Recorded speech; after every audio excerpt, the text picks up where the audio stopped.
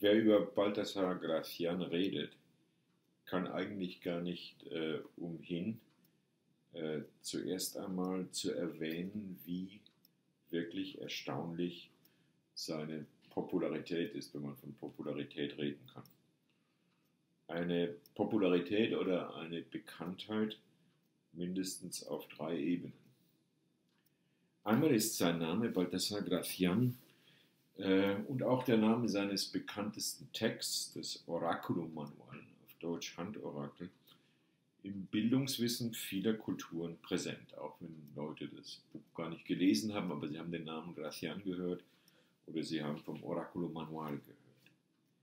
Zweitens ist ähm, das Handorakel vor allem, mehr noch als andere Texte von Gracian, über mindestens zwei Jahrhunderte jetzt schon seit dem frühen 19. Jahrhundert. Der Text selbst stammt aus dem 17. Jahrhundert. Ein Text gewesen, der immer wieder Leser direkt erreicht hat, auch in Übersetzungen.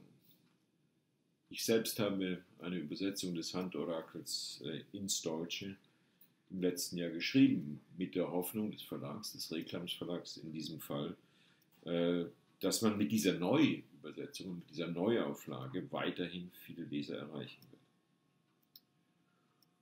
Und dann gibt es drittens, und das ist speziell, einen Status von Gracian und vor allem vom Handorakel als ein intellektueller Geheimtipp in Deutschland, auch seit dem frühen 19. Jahrhundert.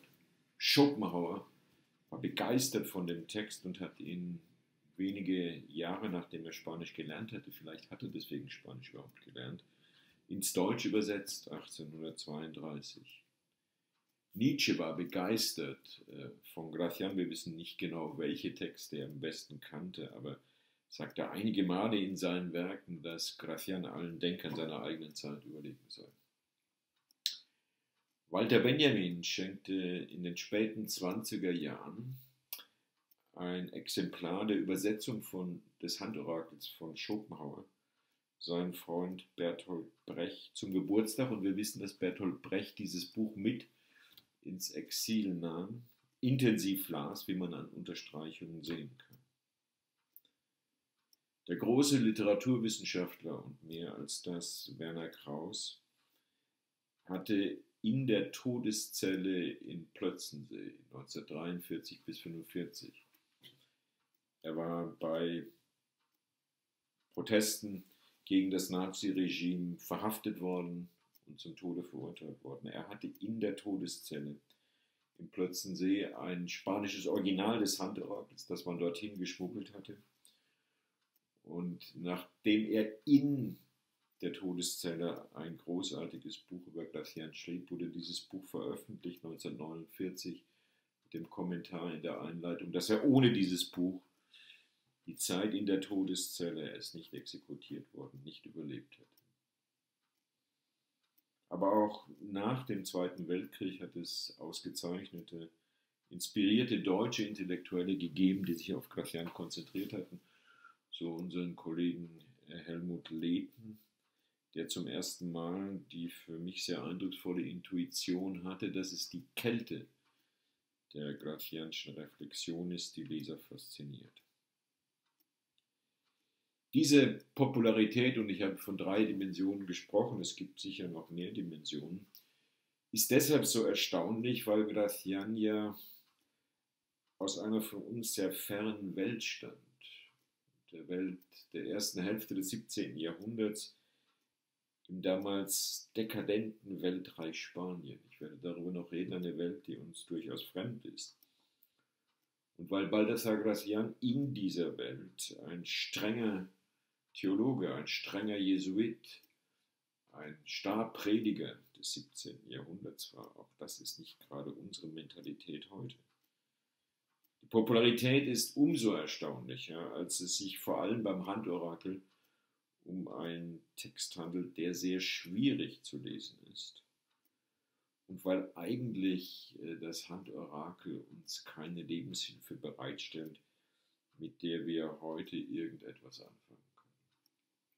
Also eigentlich spricht alles dagegen, äh, dass das ein Text ist, ein Autor ist, der uns heute im 21. Jahrhundert fasziniert.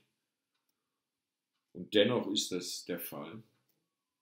Ich habe nie so hart gearbeitet, wirklich in meinem Berufsleben, wie an dieser Übersetzung, aber ich war noch nie von einer Aufgabe so fasziniert. Und äh, tatsächlich, äh, wenn ich mit Freunden gesprochen habe, dann gibt es immer diese spezielle Faszination von Gracian. Deshalb habe ich mir gedacht, dass für unsere Diskussion mit Melanie Möller, Eva Geulen und vielleicht anderen, die unsere Diskussion zuhören wollen, es ganz interessant sein könnte, wenn ich einige provokative Thesen zur Diskussion formuliere, die diese spezielle Gracian-Faszination, diese unwahrscheinliche Gracian-Faszination und Popularität erklären. Ich weiß gar nicht, ob mir das gelingen wird, aber ich werde das in vier Ansätzen versuchen. Die erste These, komplexe These, bezieht sich auf den historischen Kontext. Vielleicht kann das Verstehen des historischen Kontexts dazu beitragen, zu sehen, was uns denn an diesem Text interessiert. Dann werde ich in einem zweiten Ansatz über die besondere Form des Textes reden, die besondere Form des Handorakels, aber auch die besondere Form des Prosastils von Gracian, auf den man sich in den Literaturgeschichten als Konzeptismo bezieht. Die dritte These ist etwas spezieller, meine eigene Idee. Ich glaube, es hat im spanischen 17. Jahrhundert einen spezifischen Status der Dimension des Raums gegeben, einen spezifischen kulturellen Status der Dimension des Raums, die auch einen Einfluss auf Gracians Denken hatte. Also es geht in der dritten These um Verräumlichung des Denkens. Und in der vierten These möchte ich eben sagen, was es vielleicht für eine Affinität geben könnte zwischen unseren Problemen, unserer existenziellen Situation am Ende des Jahres 2020 und dem Gracian-Text. Also, zuerst zur historischen Situation und ich möchte die charakterisieren als eine spezielle kulturelle Konfiguration der frühen Neuzeit, die kulturelle Konfiguration der frühen Neuzeit in Spanien. Wenn ich frühe Neuzeit sage, dann beziehe ich mich ideengeschichtlich, mentalitätsgeschichtlich auf die Zeit der Emergenz des Subjekt-Objekt-Paradigmas. Die Menschen verstehen sich kartesianisch, wie wir heute sagen, als Bewusstsein, als Bewusstsein, dass die Welt der Dinge von außen sieht, dass die Welt der Dinge von außen sieht und viel an dem, was überliefert ist, theologisch überliefert ist, aufgrund der biblischen Texte überliefert ist, einer kritischen Analyse unterwirft. Es ist die Zeit, könnte man sagen, diese frühe Neuzeit, und ich nenne zwei Autoren, die eine Affinität mit Gracian haben, die Zeit zwischen Machiavelli um 1500, der Principe. Er ist eine solche Reflexion, was könnte denn der Politiker für diese neue Zeit sein? Und auf der anderen Seite späteres 17. Jahrhundert in äh, Frankreich La Rochefoucauld, dessen Aphorismen und Reflexionen eine Ähnlichkeit mit Gracian haben. Aber was ist zwischen Machiavelli und äh, La Rochefoucauld spezifisch für Spanien und spezifisch für Balthasar Gracian? Ich möchte fünf Aspekte nennen.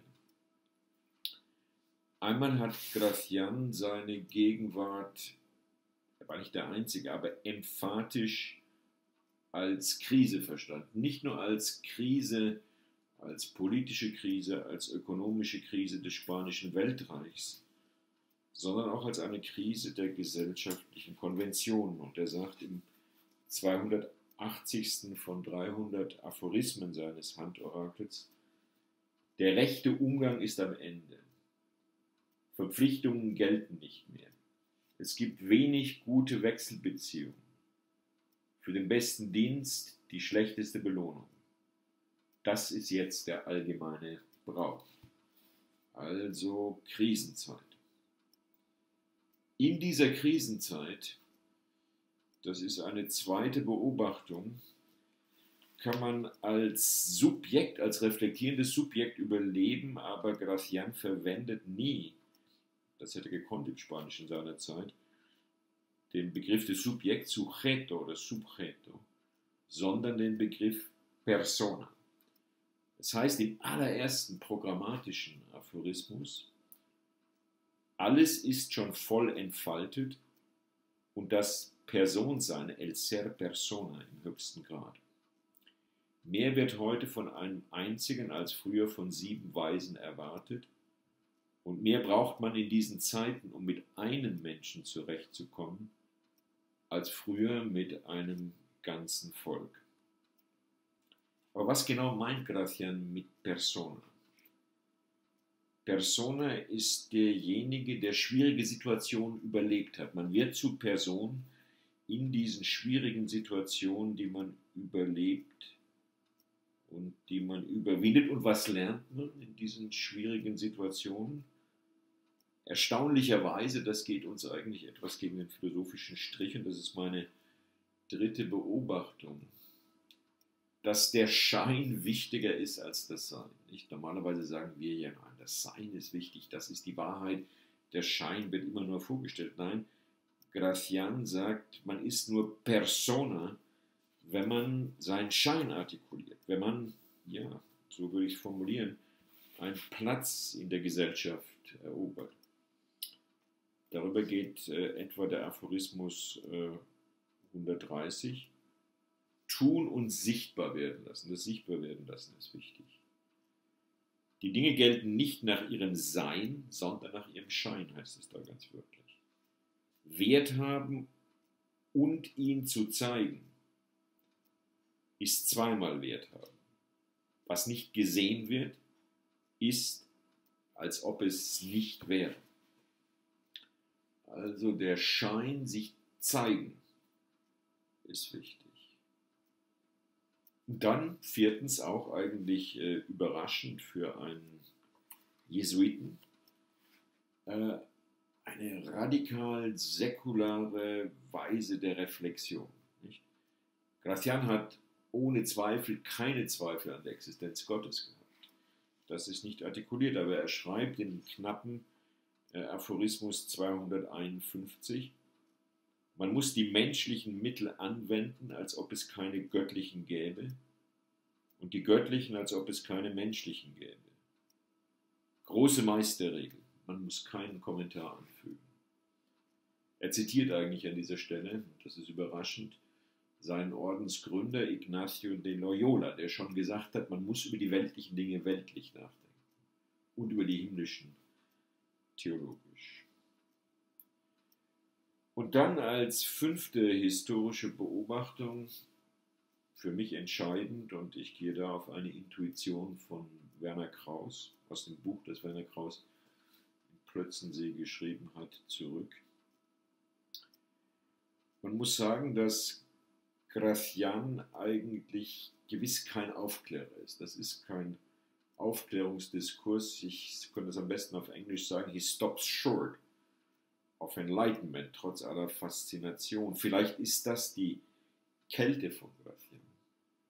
Denn es gehört nicht zum Diskurs von Gracian, zur Rede von Gracian, über die Menschheit zu reden oder allgemeine Rezepte oder Normen aufzustellen.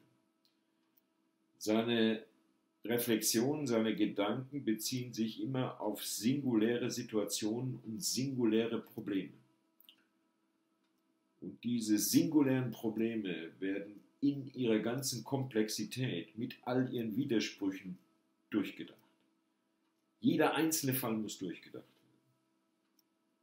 Das tut äh, Gracian mit einer Brillanz und mit einer Konsequenz, die nicht nur mich beeindruckt, die nicht nur mich fasziniert, und die, auch das möchte ich sagen, ganz weit entfernt ist von dem, was man heute so Standard Political Correctness nennt, man immer irgendwelche ethischen Anweisungen bekommt, die im Namen der Menschheit gelten sollen. Also, so viel zu dieser historischen Situation. Eine Krisensituation, in der Gracian zur Person werden möchte, indem er einzelne schwierige Situationen, singuläre schwierige Situationen in all ihren Konsequenzen durchdenkt. Und jetzt zur spezifischen Form des Oraculo Manual und zur spezifischen Form seiner Prosa. Ähm, warum heißt das Buch Oraculo Manual? Das kommt in sehr vielen Titeln des späten Sigolero und spätes goldenes Zeitalter in Spanien ist frühes 17. Jahrhundert vor. Das bedeutet vielleicht so viel wie Entbergung. Also es geht um Reflexionen, die so objektiv sind, dass sie Gracian gar nicht als seine eigenen Reflexionen vorstellen möchte. Also äh, Entbergung der Weisheit vielleicht. Und dann zweitens sehr interessant das Adjektiv Manual. Das hat Gracian speziell eigentlich im Sinn von Taschenbuch verwendet. Er wollte, dass seine Bücher, die manchmal unter einem Pseudonym erschienen, weil sie dem Orden zu säkular waren, aber er wollte, dass seine Bücher und vor allem das Handorakel Bücher sein sollten, die man mit sich tragen konnte, die einen praktischen Wert haben. Interessant ist in der Hinsicht auch, dass er sich verbeten hat, dass diese Bücher mit Emblemata geschmückt werden. Das sollte wirklich der Gebrauchswert sein. Und dann Drittens handelt es sich um genau 300 kurze Reflexionen, die man Aphorismen nennt. Gracian hat selber nicht von Aphorismen gesprochen. Das kann kein Zufall sein. 300 also die Zahl. Man sieht auch ab und an, dass an bestimmten numerisch hervorgehobenen Stellen, etwa 250 oder 150, ähm, Aphorismen stehen, die Gracian offenbar sehr wichtig sind. Aber wenn man sich fragt, ob es eine Struktur in der Abfolge dieser 300 Reflexionen gibt, dann gibt es auf der einen Seite, ihr kennt eine solche Situation, äh, zu viel Struktur, als dass man diese Frage aufgeben könnte.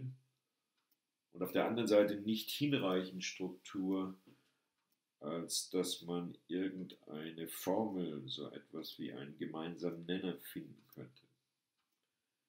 Also man begleitet Gracian in einem Rhythmus des Denkens, ohne je einen Schlüssel für dieses Denken zu haben.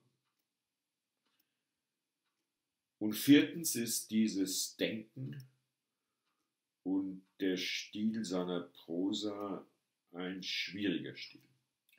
Man hat diesen Stil, für den Gracian in Spanien damals emblematisch stand, Konzeptismo genannt, so viel wie Begrifflichkeitsstil. Gracian hat ein ganzes Buch über ihn geschrieben.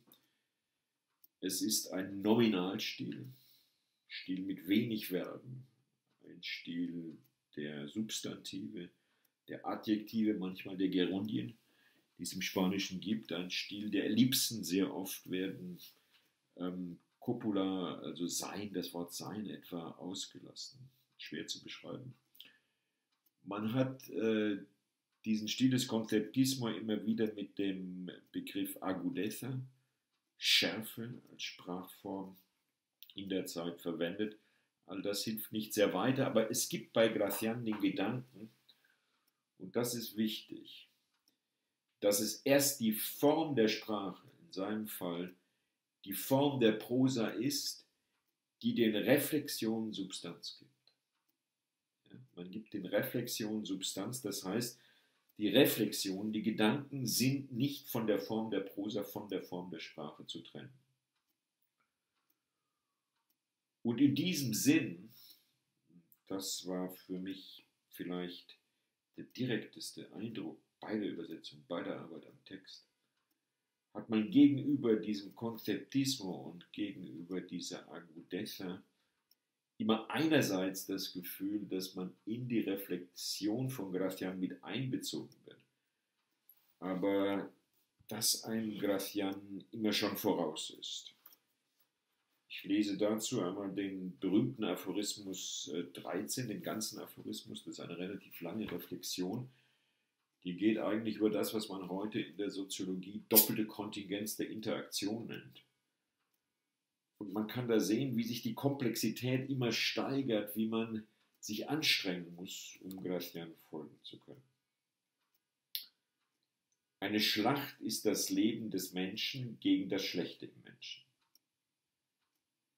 Es kämpft der Scharfsinn mit Strategien der Absicht. Nie tut er das, was er vorgibt. Er visiert ein Ziel nur an, um zu täuschen. Er macht gekonnt aussehende Luftstreiche und tut, immer zu überspielen bemüht, das, woran niemand gedacht hat. Eine Absicht lässt er sichtbar werden, um die rivalisierende Absicht zu binden und kehrt ihr dann den Rücken, um durch das Nicht-Erwartete zu siegen. Doch aufmerksam kommt ihm durchdringende Intelligenz zuvor, das ist jetzt die andere Seite der Gegner, lauert mit Reaktionen auf, versteht immer das Gegenteil von dem, was sie verstehen soll und erfasst jede Täuschungsabsicht. Sie lässt alle erste Absicht ins Leere laufen und wartet schon auf die zweite oder sogar auf die dritte. Wenn Verstellung ihre Kunst durchschaut sieht, wird sie stärker und versucht mit der Wahrheit selbst zu täuschen. Jetzt sind wir wieder auf der ersten Seite. Sie stellt ihr Spiel um, indem sie ihre List umstellt das Nicht-Fingierte fingiert erscheinen lässt. Also die Finte in der größten Aufrichtigkeit begründet. Auftritt die Beobachtung mit ihrem eigenen Scharfsinn und deckt die vom Licht verkleidete Finsternis auf. Sie entziffert die Absicht, welche je einfacher, desto arglistiger ist. Also man sieht, es ist sehr schwer zu folgen. Man hat das Gefühl, wenn man noch einmal langsam liest, kann man sich anhängen an diese Reflexion von Gracian. Es ist klar, dass es die sprachliche Form ist, die den Gedanken Substanz gibt. Aber es ist klar, dass der Rhythmus dieser Gedanken, die Komplexität dieser Gedanken, fast immer etwas zu viel für den Leser ist. Aber das fasziniert vielleicht den Leser. Dritte These, und keine Angst, die zwei letzten Thesen sind kürzer. Das ist zentral für mich, aber zugleich neu, denke ich, in der Gracian-Sekundärliteratur. Also wenn ich einen eigenen Gedanken gehabt habe, dann den. Es geht um die Verräumlichung des Denkens im spanischen goldenen Zeitalter, aber speziell bei Gracian und speziell im Handorakel. Allerdings muss ich da für einen Moment historisch etwas ausholen. Man kann sagen, dass die spanische Kultur, die kastilische Kultur, müsste man genauer sagen, die aragonesische Kultur, eine jener Kulturen in Europa war, wo die frühe Neuzeit sehr früh begann. Fast so früh wie in Italien. Die katholischen Könige, zum Beispiel Reyes Católicos, also Isabel de Castilla und Fernando de Aragon, die Spanien zu einem Weltreich machten, ähm, sie waren solche Subjekte im frühneuzeitlichen Sinn. Ja? Bewusstseinsorientiert, die die Welt analysierten, beobachten, Entschlüsse fassten, kalkuliert, zu kalkuliertem Risiko fähig waren und so weiter und so weiter. Es ist interessant, ähm, als sich äh, Machiavelli im Principe fragt, wer könnte denn heute schon so ein moderner Politiker sein, sagt er, wenn es überhaupt einen solchen gibt, dann ist das Fernando de Aragon. Also, um 1500 ist dieser Moment der voll entwickelten frühneuzeitlichen Mentalität in Spanien. Und der Nachfolger der katholischen Könige, der Habsburger, Karl V. von Deutschland und Karl I. von Spanien, aber auch dessen Nachfolger, Philipp II. von Spanien, sind genauso rational, aber beschließen rational die weltpolitische Rolle der Gegenreformation zu übernehmen. Und das bedeutet mentalitäts- und ideengeschichtlich, dass über diese kartesianische frühneuzeitliche Mentalität eine traditionelle mittelalterliche Mentalität wieder übergestülpt wird. Eine Mentalität, in der es kein Subjekt und keine Persona gibt, sondern eine Mentalität, in der man Körper ist. Und in dem sich um den Körper Raum entfaltet. Ich glaube also, dass aufgrund dieses Entschlusses die substantialistische Theologie wieder zurückzubringen, das spanische goldene Zeitalter ein kultureller Moment ist, in dem die kartesianische Subjektivität durch diese Räumlichkeit, durch diese Körperlichkeit komplexer wird. Und man kann eine solche Faszination mit dem Raum in der spanischen Kultur jener Zeit, eine Geometrisierung beobachten. Zum Beispiel die Wahl der Hauptstadt Madrid, für die es keinen einzigen guten Grund gab, außer dem Eindruck, dass Madrid sozusagen das geometrische Zentrum der iberischen Halbinsel war. Oder die symbolistische Architektur des großartigen Königspalasts von Philipp II., dem Escorial, 100 Kilometer westlich von Madrid in den Bergen. Das sollte man unbedingt gesehen haben. Also wo sozusagen diese Doppelstruktur, Kloster zu sein und Schloss zu sein, in die Architektur eingeschrieben ist. Aber vor allem natürlich die Zentralität des Theaters in der Kultur des goldenen Zeitalters. Madrid ist eine Theaterstadt, weil sich im Theater, in der Form des Theaters, in der Räumlichkeit des Theaters eben Literatur räumlich artikuliert. Und in Bezug auf Gracian läuft das bei mir auf den Eindruck hinaus, dass man viele Stellen, wo man zunächst den Eindruck hat, er gebrauche räumliche Metaphern, vielleicht ernst nehmen sollte, wörtlich nehmen sollte. Ich möchte jetzt wieder einige Aphorismen zitieren, zum Beispiel Aphorismus 179, wo es heißt, eine Brust ohne Geheimnis ist ein offener Brief. Wo es Tiefe gibt, dort liegen die tiefen Geheimnisse, denn da gibt es große Räume und Ausbuchtungen, wo Dinge von Bedeutung versinken. Wie wäre es denn, wenn wir uns vorstellten, dass Gracian sich tatsächlich denkt, dass die Gedanken irgendwo tief in im Körper stecken? Oder äh, Reflexion Aphorismus 78, wo es heißt, der Dumme fällt immer mit der Tür ins Haus, denn alle Dummen sind waghalsig. Und dann heißt es da weiter, dagegen tritt die Wahrheit tastend auf.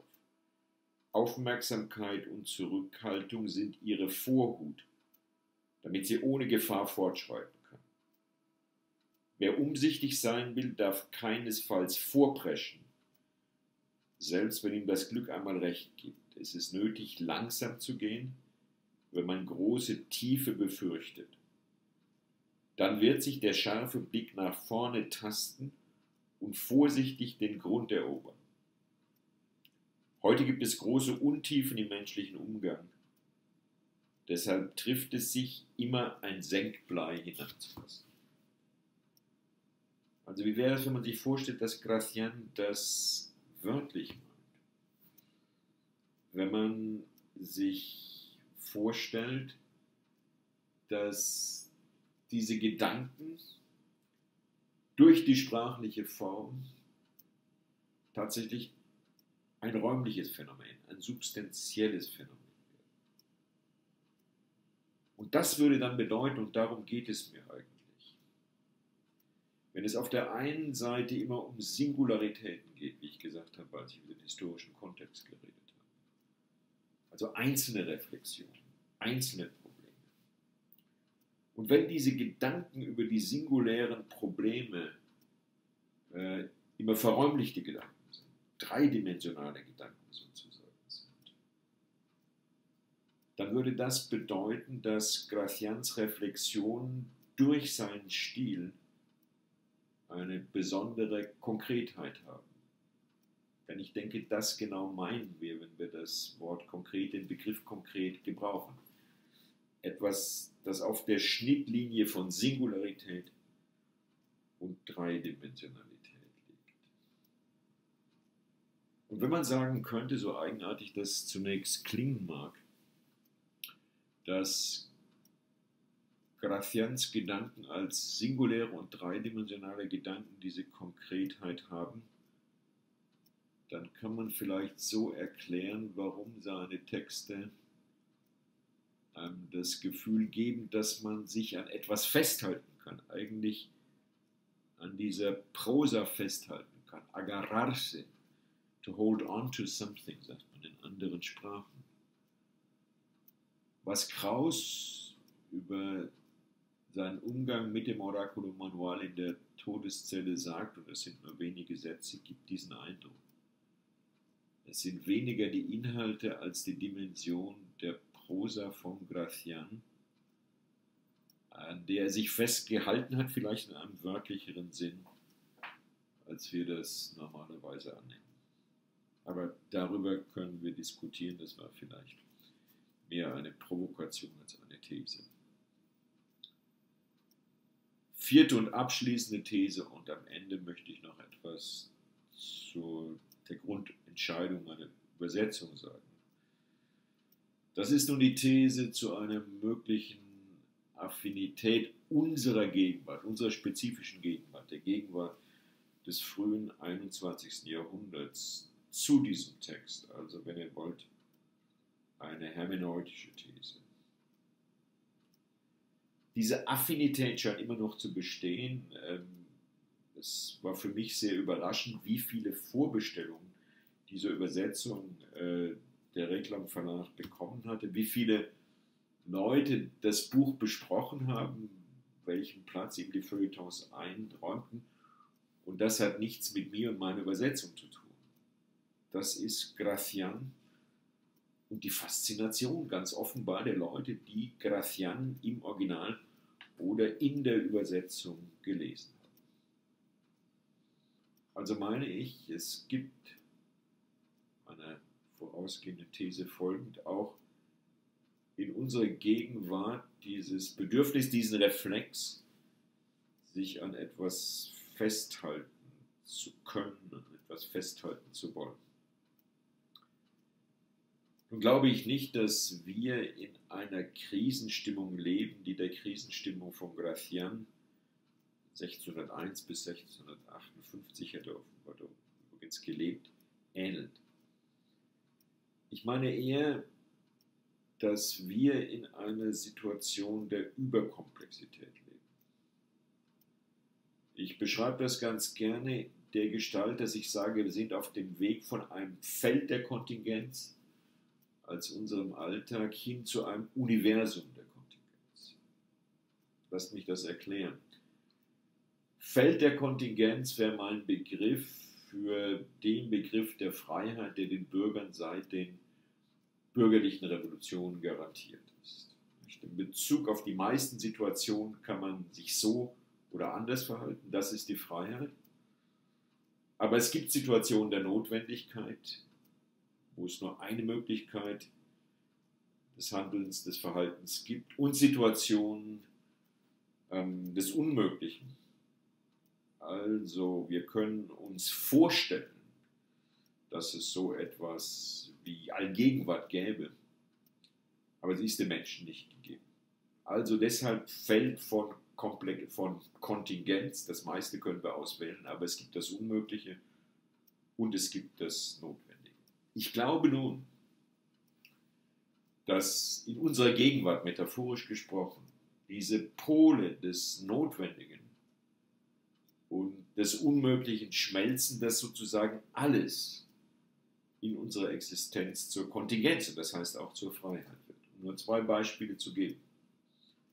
Geschlecht war früher etwas Notwendiges in jedem Sinn wer mit bestimmten Genitalien geboren wurde, war eine Frau oder war ein Mann und daran war nichts zu ändern. Wir alle wissen, dass heute äh, die transsexuelle Chirurgie am Beginn der Ermöglichung einer Wahlfreiheit in diesem Sinn steht und das ist großartig. Oder ein anderes Beispiel, das Unmögliche. Ähm, Allgegenwart. Allgegenwart war ein Gottesprädikat, weil wir sagten, Menschen können nicht allgegenwärtig sein. Aber ist nicht schon die elektronische Art und Weise, in der wir kommunizieren zwischen Berlin und Stanford, etwas von Allgegenwart ist nicht Wikipedia, so wie sie auf unserem Bildschirm erscheint. Allwissen. Ich sage nicht, dass das schon alles erfüllt ist. Aber ich denke, ich habe erklärt, was ich meine, wenn ich sage, wir leben in einem Universum von Kontingenz. Das bedeutet riesiger Freiheitsgewinn, aber vielleicht auch Überkomplexität, Orientierungslosigkeit, das Bedürfnis, sich an etwas festhalten zu wollen, was vielleicht noch gesteigert wird durch unsere elektronische Kommunikation, die eine Hyperkommunikation ist, eine Kommunikation des Mangels an Substanz, eine Kommunikation der Kälte. Ja, und möglicherweise hat unsere Corona, unsere Covid-Situation das alles noch bestärkt. Also ich glaube, dass wir spezifisch, existenziell in einer Situation leben, in der es dieses Bedürfnis gibt, sich an etwas festhalten zu können. Und ich glaube tatsächlich, das war zumindest meine eigene subjektive Erfahrung, und ich bin sehr gespannt, was eure Erfahrung ist, äh, dass in dieser ganz eigenartigen Weise der Text von Gracian übrigens nicht nur das Handorakel zu uns spricht. Über all das sollten wir jetzt diskutieren. Nur noch eine Bemerkung zur Grundentscheidung meiner Übersetzung, weil ich natürlich sehr daran interessiert bin, zu sehen, was ihr von dieser Übersetzung haltet. Zunächst, der Verlag wollte eine neue Übersetzung, weil die Übersetzung von Schopenhauer so alt ist, 1832 geschrieben.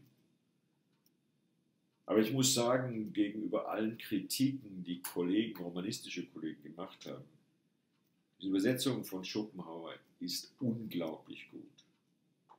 Ich habe in dieser Übersetzung keinen einzigen Fehler gefunden. Es gibt Passagen, wo man nicht genau weiß, was Gracian gemeint hat. Aber Fehler hat Schopenhauer sicher nicht gemacht. Es ist allerdings, und das war Schopenhauers Absicht, eine paraphrasierende Übersetzung die sehr nah an Gracians Text ist, aber manchmal größere Klarheit im Deutschen herstellt, als der Text von Gracian selber zur Verfügung stellt. Und das ist durchaus gerechtfertigt. Aber da ich glaube, dass die Faszination des Textes von Gracian für uns jedenfalls mehr aus dem Konzeptismus, aus der spezifischen Form seiner Prosa hervorgeht, als aus den Inhalten, die diese Prosa artikuliert. Aus diesem Grund habe ich die Entscheidung getroffen, hatte ich das Bedürfnis, hatte ich das Interesse, so nah am kastilischen Originaltext zu bleiben, bis zur Grenze der, der Unverständlichkeit hin, wie das irgend möglich war. Ich habe, und das ist problematisch, das Deutsche als Zielsprache durchaus öfter dem kastilischen Original unterworfen. Ja, vielen Dank fürs Zuhören. Vielen Dank für das geteilte Interesse an Gracian.